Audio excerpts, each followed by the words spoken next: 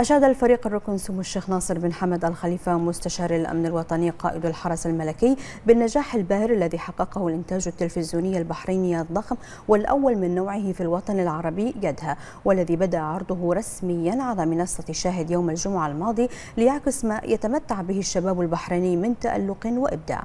جاء ذلك لدى استقبال سموه بحضور العقيد الركن سمو الشيخ خالد بن حمد الخليفة قائد قوة الحرس الملكي الخاص فريق العمل والفائزين بالمراكز الثلاثة الأولى وهم علي سجاد حسين ضيف رقم 178 صاحب المركز الأول وخالد وليد عيسى رقم 95 صاحب المركز الثاني وخليفة سيف الدوسري رقم 330 صاحب المركز الثالث. أكد الفريق الركن سمو الشيخ ناصر بن حمد أن شباب البحرين معدنه ذهب وهو دائما ما يثبت جدارته ويعشق التميز والإبداع والابتكار. وقد تجسدت تلك الصفات في برنامج جدها الذي أنتج بسواعد وطنية وبصبغة عالمية بعدما عكس روح التحدي وقوة العزيمة والإرادة التي يتحلى بها البحريني بشكل عام والعسكري البحريني بشكل خاص. أضاف سموه أننا سعداء بهذا الإنتاج الإعلامي الرائع الذي قدم صورة إيجابية عن مملكة البحرين وأبنائها. ونحن بحاجة للمزيد من هذه البرامج التي تروج لمملكتنا الغالية وتجسد ما يتميز به أبناؤها من عزيمة وقوة لمواجهة مختلف التحديات وتقديم التضحيات من أجل الوطن. ونفخر بهذا الإنتاج الإعلامي الذي تميز بمستواه الفني على مستوى الإخراج والمونتاج والتصوير والاهتمام بأدق التفاصيل التي أثارت الإعجاب. أثنى الفريق الركن سمو الشيخ ناصر بن حمد الخليفة بالمستوى الاحترافي للمدربين والكفاءة العالية التي أظهروها في توجيه وتدريب المشاركين بمختلف التحديات العسكرية. ليكونوا شريكا أساسيا في نجاح البرنامج.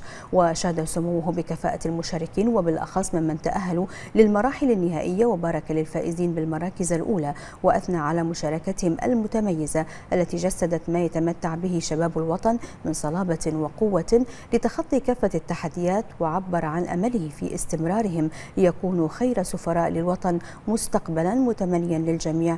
دوام التوفيق والنجاح. في الختام تشرف السيد أحمد الشيخ مشرف ومخرج البرنامج بتقديم هدية تذكارية للفريق الركن سمو الشيخ ناصر بن حمد الخليفة والعقيد الركن سمو الشيخ خالد بن حمد الخليفة تقديرا وعرفانا بدور سموهما في إطلاق ودعم البرنامج.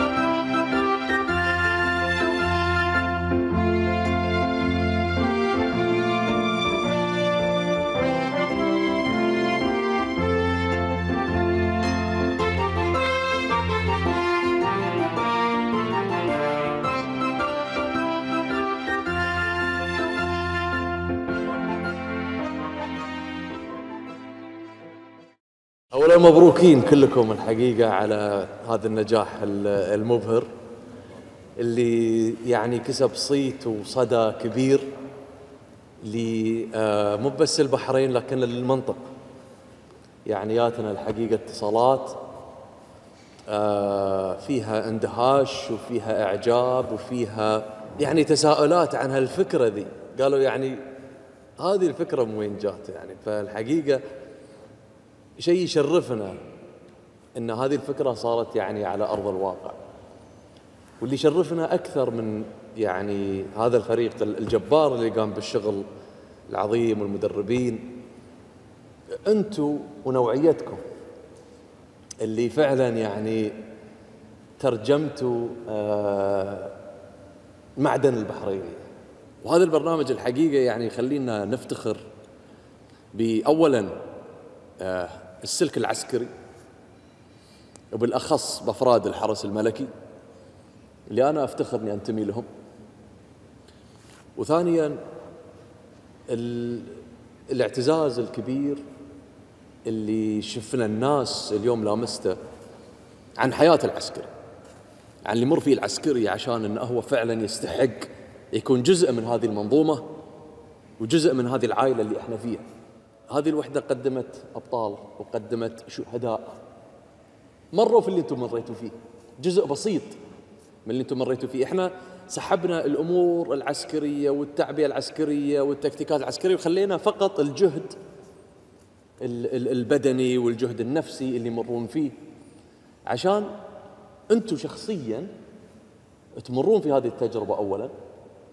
وما في شك إن هي بتصير يعني تغير عندك أمور كثيرة في حياتك أه ترسم عندك أمور كثيرة في حياتك تخليك فعلا تقدر أه أمور كثيرة وتقدر نفسك قبل كل شيء.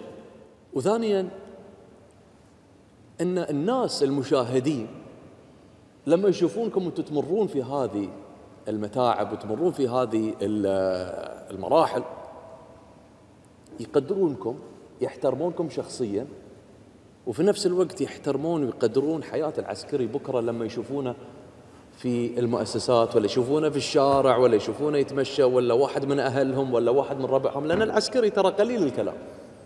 ونتمنى إن شاء الله أن إحنا نواصل هذا الجهد ونواصل إن شاء الله النسخة الأخرى وغيرها إن شاء الله نشوف بعد أبطال قادمين ومقدمين ومقبلين على هذه التحديات.